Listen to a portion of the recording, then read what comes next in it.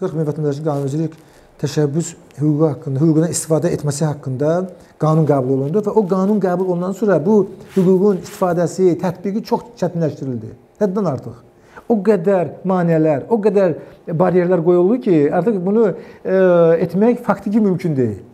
Amma e, həmin qanun 2019-cu ilin 20 oktyabrında qəbul olundu. Ona qədər bu deməli fürsətdən istifadə elədi Real partiyası İlqar Məmmədov təşəbbüs irəli sürdü. Bir neçə qanun layihəsinin üzərində işlədilər, hazırladılar və 40 min vətəndaşın da 40 mindən daha çox vətəndaşın imzasını topladılar. Ali təhsil pozulması problemi kreditlərlə bağlı, bir də Mer institutunun seçkili olması ilə bağlı idi bu qanun layihələri.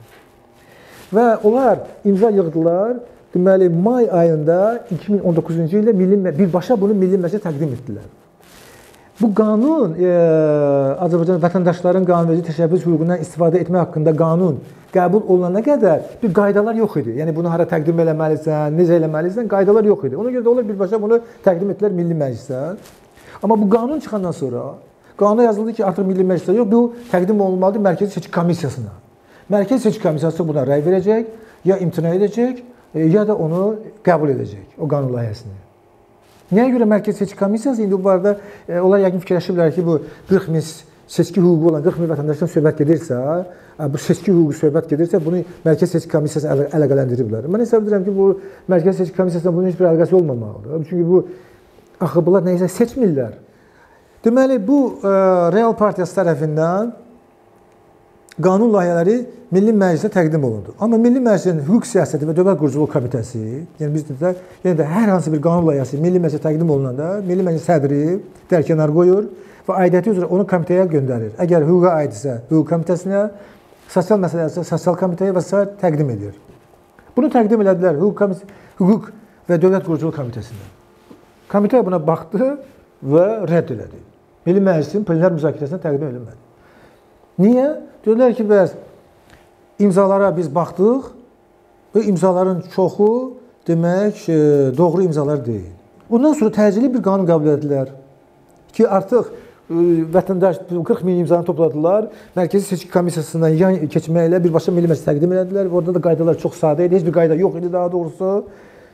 Və artıq gördülər ki, bu çətin bir vəziyyət var. Tez bir qanun qəbul etdilər və vəziyyəti sərtləşdirdilər. Çox çətin bir tələblər qoydular.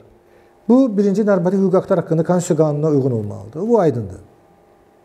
İkinci, vətəndaşların qanunvericilik təşəbbüsü qaydasında təqdim etdiyi qanun qərar layihələrində aşağıdakı məsələlər nəzərdə tutula bilməz. 1. Dövlət büdcəsi, dövlət rüsumu, vergi və gömrük işi.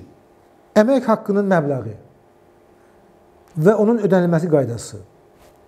Cinayət və inzibati xətalar Bu inzibati cinayəti bir kənara qoysaq, bu inzibati xətalarla bağlı. Niyə görə görə vətəndaş 40 min vətəndaş inzibati xətalarla bağlı qayda irəli sürə bilməməlidir? Nəyə görə? Çünki inzibati xətalar məsələsində o qədər dəyişikliklər var, o qədər ziddiyyətlər var ki, yəni vətəndaşa mane olur. İstər yol hərəkəti haqqında, istər sosial məsələ, istər gömrüklə bağlı, istər vergi ilə bağlı məsələlərdə. Növbəti məsələ ailə münasibətləri. Vətəndaşlar ailə münasibətləri ilə bağlı 40 min nəfər heç bir deməli layihə təqdim edə bilməzlər. Ərazi quruluşu, inzibati ərazi bölgüsü. Dövlətlərarası və Azərbaycan Respublikasının qanunlarından fərqli fərqli qaydalar nəzərdə tutan hökumətlərarası müqavilələrin təsdiqi bəlirlənməyi ilə bağlı. Vətəndaş edə bilməz. Növbəti məsələ seçki və referendum. Bu aydındır. Nazirlər Kabinetinin e, Nazirlər Kabinetinin etimad, amnistiya, seçilməsi, təyin edilməsi, təsdiq edilməsi müvafiq olaraq qanunvericilik icra hakimiyyəti orqanları səlahiyyətlərinə aid edilmiş vəzifəli şəxslərin seçilməsi, təyin edilməsi, təsdiq edilməsi və s. Sonra yazıb ki, vətəndaşlar qanunverici təşəbbüs qaydasında konstitusiya qanun layihələrini təqdim edə bilməzlər. Cəmi 13 tələb qoyulub. Sonra orada təşəbbüs qrupu yaradılmalıdır da. Burada da o qədər sərt qaydalar qoyulub ki, təşəbbüs qrupu yaratmazsan, onun müavinlərini təyin etməkdən təşəbbüs qrupunun sayı müəyyənləşdirilib 300 nəfər olmalıdır və 300 nəfər imza yığmaq işlə məhz o 300 nəfər baxmalıdır. Sonra yazılıb ki, sənin yığdığın imzalar 60 seçki dairəsini əhatə eləməlidir. Bu da çox ciddiyyətli məsələdir. Niyə görə 60? Böyük ərazi. Hər dairədən minimum 50-500 nəfər olmalıdır.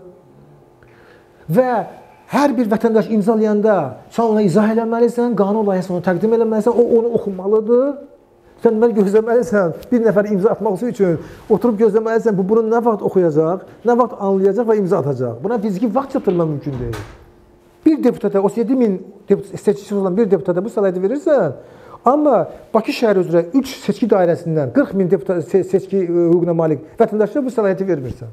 Yəni İlqar Məmmədov o boşluqdan istifadə elədi, tez bu qanun qəbul olunmamış 2019-cu ilin may ayında bu təklif elədi bu layihələri. Onda Milli Məclis çıxış yol tapmaq üçün gördü başqa variant mümkün deyil, dedi ki, sənin imzaların saxtadır. Nəhayət orada da başqa bir ə, e, məhdudiyyət var ki, dövlət baxacaq, əgər maliyyə imkanları yoxdursa, bu qanun layihəsinin gələcəkdə icrası ilə bağlı müəyyən maliyyə vəsaiti yoxdursa, yazacaq ki, dövlət büdcəsindən bir arayış alacaq ki, bununla icrasına bağlı bizim maliyyə vəsaitimiz yoxdur və bu rədd olunsun. Başqa orada məhdudiyyət var ki, məsələn, 2 nəfər, 3 nəfər vətəndaş gəlib çıxıb deyə bilər ki, bizi məcbur edildilər, biz imzaladıq və yaxud da mən oxumadan mənə imzalatdırdılar.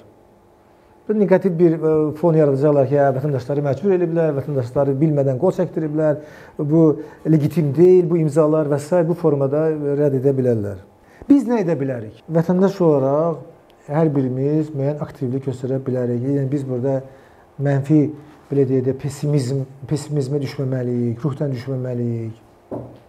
Ən çətin ə, e, vəziyyətlərdə həmişə çıxış yolu var. Həmişə var. Əgər istək varsa, deməli iradə varsa, nəsə müəyyən addımlar atmaq olar.